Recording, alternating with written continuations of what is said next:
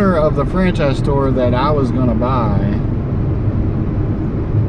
my boss's sister, about I don't know, the beginning of this year, she had called me and asked me if I was interested in buying her store. She wants to sell it again.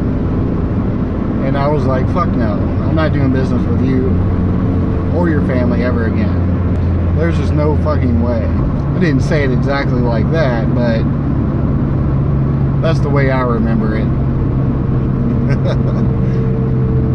so she sold her store and the whole time I was saying, oh, she's gonna come work here. She's gonna come work here. You know, she's she's his sister. She'll come work here. Everybody's like, no, no, no. Even the owner's like, no, she's not working here. Well, she's here and she's working. It's like she owned her own store and she acts like she has no idea what the fuck to do she's watching everybody to make sure, you know, she knows how to do everything. It's like you own your own fucking store. How do you not know how to do this? We do things a tad bit different, but not really.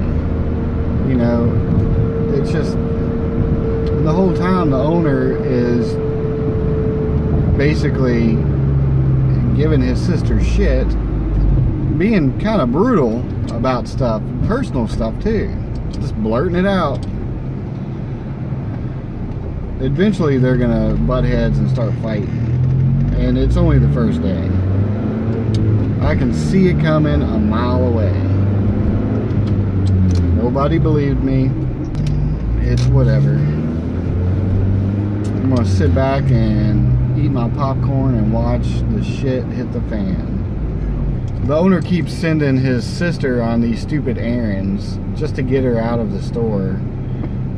He gave her six dollars and told her to go to the bank and get rolls of pennies. So he's just fucking with her, sending her away to go do dumb shit to get her out of the fucking store because he's already sick of her. This ain't gonna last. I mean, I get it, she's family, but you know, just say no. Just say no You cannot work here.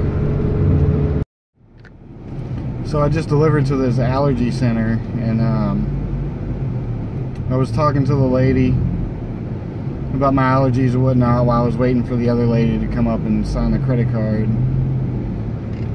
And I was like, yeah, I've been using the Flonase since Tuesday and know, it seems to be working pretty good. And I was like, it's easier to remember to take, you know, it's not a pill where I would forget. I was just like, you know, there's this weird side effect there. It's just really weird. She's like, well, what is it? I was like, every time I spray it my nose, the University of Louisville scandal gets worse. she got kind of pissed. she was wearing a U of L t-shirt. And I was the lady behind her start rolling, just rolling. She's like, I'm gonna recommend that so-and-so doesn't tip you. she tipped me $7.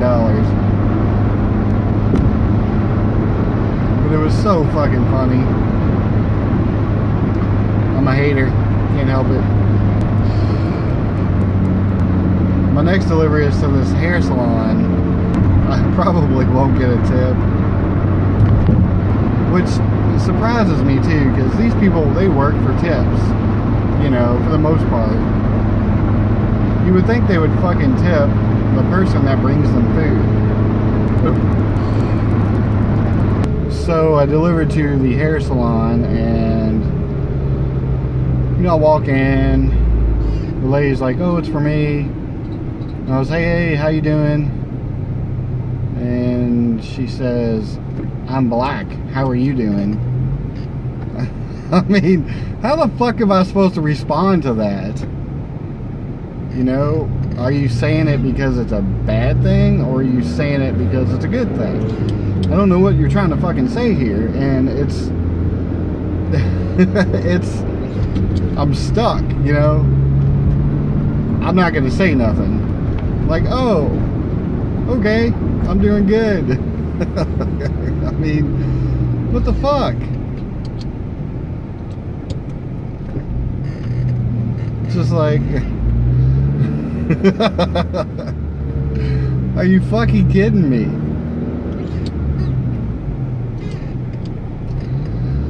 Oh man.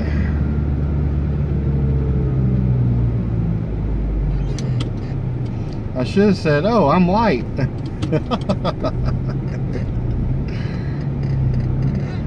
it's like, what the fuck?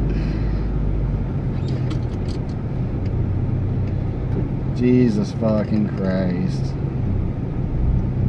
Whatever.